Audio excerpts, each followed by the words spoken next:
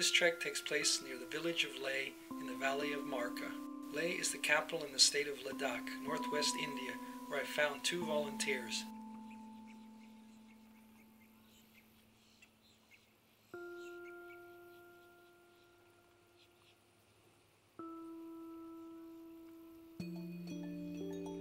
Once organized, we caught a bus to the trailhead village at Stok.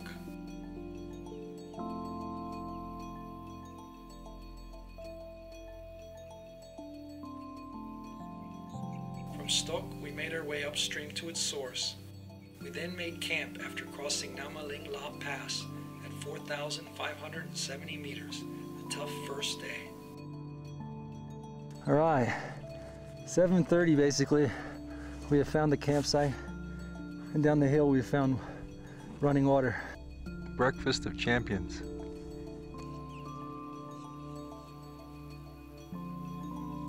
Guys were tired, so we put in a short day.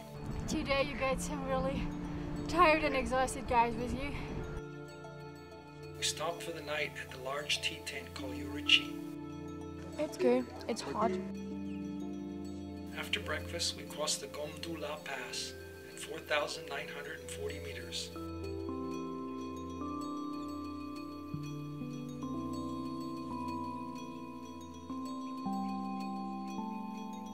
I couldn't resist the Pepsi break. At the Skyu village in the Markha Valley, we opted for homestay, but first we had to wait for the farmers to return from the fields.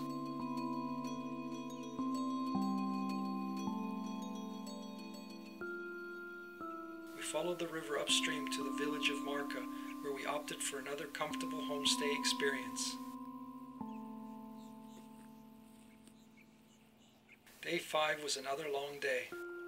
The objective was the High Namaling tent camp at the foot of another pass.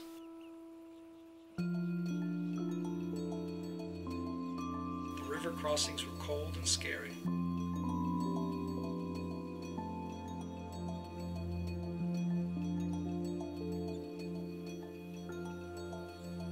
Late in the day, Joanna started to have altitude issues.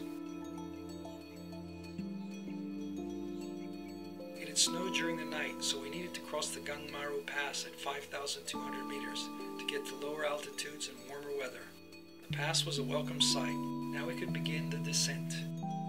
But warmer weather meant melting snow, mud, and rain. Be careful what you wish for. Two days later, we made it to Hemis Gompa and a bus back to Leh.